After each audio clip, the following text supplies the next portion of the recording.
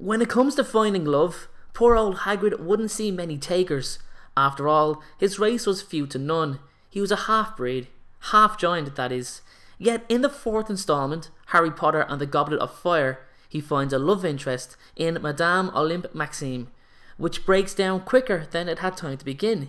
So, what exactly happened between the two? Happiness can be found even in the darkest of times. One only remembers to turn on the light.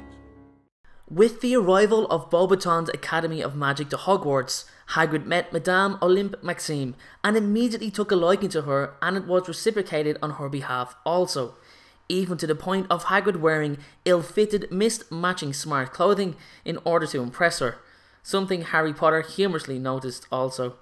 Hagrid even attempted to give her a tactical advantage by showing her the dragons for the first challenge, although he did show Harry too.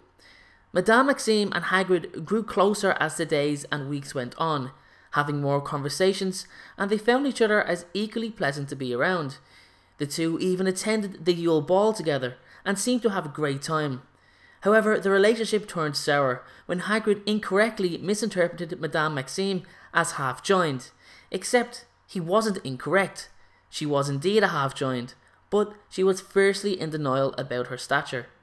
Like most half breeds, or any creature of unusual birthing circumstances, they will be looked down upon and be subjected to prejudiced views, and this was something Madame Maxime was all too aware of, as it wasn't just Britain that shared such derogatory opinions. As a greater witch as she was, Olympe most likely believed that if she did not confirm she was half giant, then nobody would have the right or the audacity to ever call her out on her half breed race. Now, in a way, I do understand her point of view, but denying her race, be it one of considerable controversy, is to deny where she comes from, and a person's race does not define what they can achieve. I believe Madame Maxime really misses the point, because she's the perfect example of it. Hagrid, on the other hand, really embraces who he is. It's why he struggles to contain his excitement that he finally has come across someone just like him.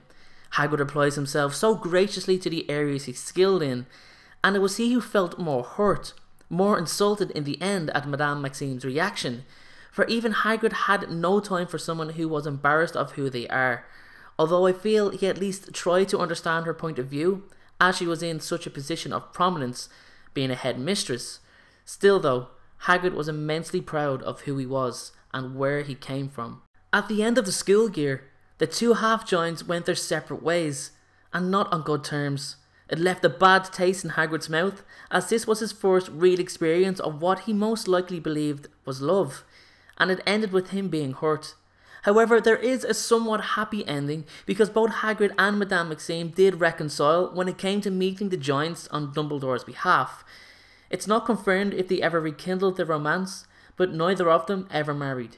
That's all for today's video everyone, thank you very much for watching. If you like this video, please make sure to give it a thumbs up, it helps the video out in a great deal. If you feel my channel has earned your subscription, then hit that subscribe button, really important. Guys, thank you very much again for watching and I hope you all have a great day.